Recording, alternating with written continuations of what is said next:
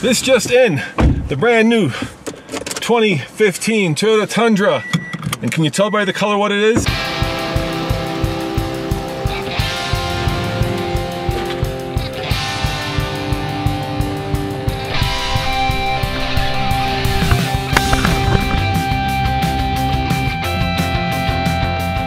Yes, indeed, it's the TRD Pro. But before we take it for a little bit of an off-road ride, let me show you what I don't like about the truck before I get to what I like about it. Right there, see that? That is a key from like a 1992 Toyota Camry. Same thing with the steering wheel. Toyota, you spend a lot of money stamping TRD into the metal of this truck. I wish you had spent that same amount of money on putting in a integrated brake controller. All right, enough of the grumpiness. Here's the great part about this truck. $46,000. I think that is very reasonable for a truck that is about as capable as any pickup truck that you can buy today. It's not quite, in my opinion, at Raptor level, but it's certainly close so that when you take it off-road like this, you feel like there's a lot of confidence in the fact that you won't get stuck. It just loves, loves, loves the dirt. And I love the dirt too, so that's two of us that really enjoy this kind of off-roading. I also love the fact that, let me show you in the back, look at this, maybe you can watch this. Let me turn the camera a little bit here. Ah, seatbelt's got me trapped in the back. The wind though, look at that, goes all the way down. How cool is that? Makes for a great refreshing breeze when you're driving along. What a nice touch. I like the Ford where there's a little tiny window that slides, this thing, the whole thing goes down. Love it, love it, love it. I love the interior. What a great looking truck. Interestingly, this is not the most car-like truck. This windshield is very raked.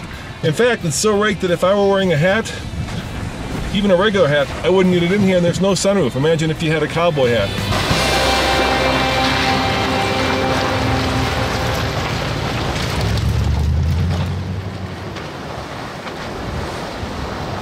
Wouldn't work. But you know what? It works for me. It's uh, kind of cool to be able to look out of this thing and be so tall and you feel like you're in a car instead of in a truck.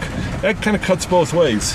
What I also like about this truck, of course, is the Bilstein shocks. I got to go on the uh, launch of it and they've got built-in reservoirs which when you're doing stuff like this and now we're going to get a little, little bit crazy here we're to go we're going to go steep and deep guys we're going to see how this thing does when the road gets just a little bit more steep. And I think it's just gonna do well. Oh yeah.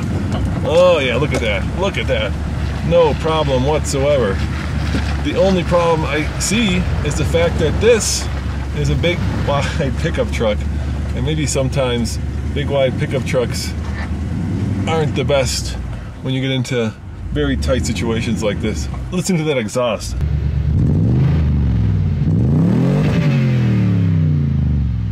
Oh my God. I love that. I love that. And this is a dead end, but we got up here no problem. Anyway, what are we gonna do with this truck?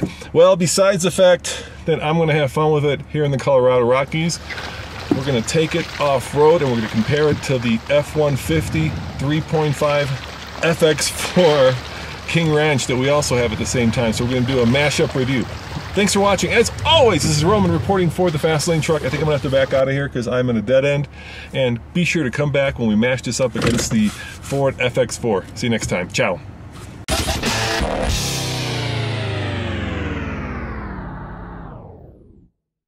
It's the new Ram Rebel.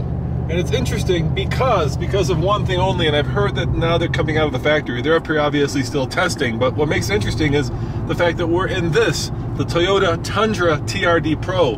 And if you ask me, this is the car, make that truck, too much Chipotle, sorry. If you ask me, this is the truck that the Ram Rebel directly competes with. The Toyota Tundra TRD Pro. A lot of it is appearance, which this of course has. Notice the lava red or orange color on the outside of this truck, but a lot of it is also underneath. So yeah, there's no truck that directly competes with the Ford Raptor at this point, but these near Raptor trucks are certainly becoming very popular.